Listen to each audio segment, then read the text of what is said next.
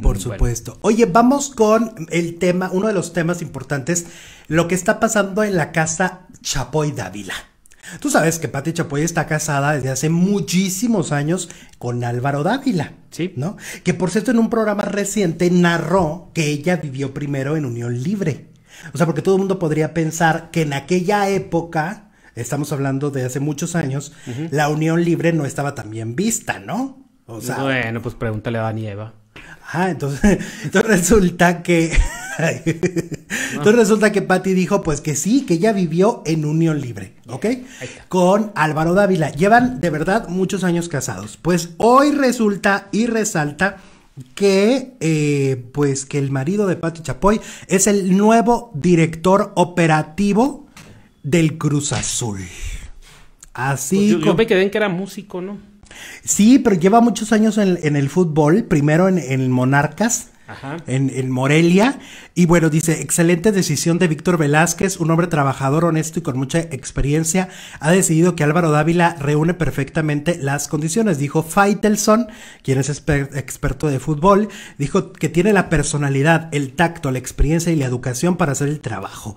Ha sido la mejor decisión que ha tomado Cruz Azul en mucho tiempo. Y el expresidente de Monarcas no solo dará orden y estructura al organigrama, hará muchas cosas por el Cruz Azul. ¿Cómo ves?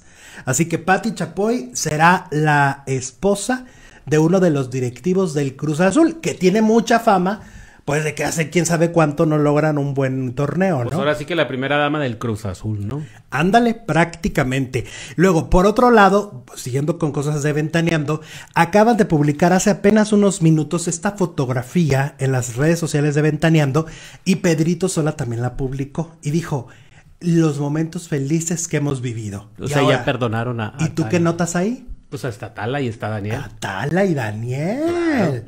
Ahí están en un viaje de ventaneando.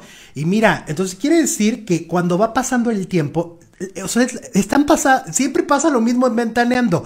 Al principio, cuando Pepillo se fue, de, de chacha no lo bajaban, ¿no?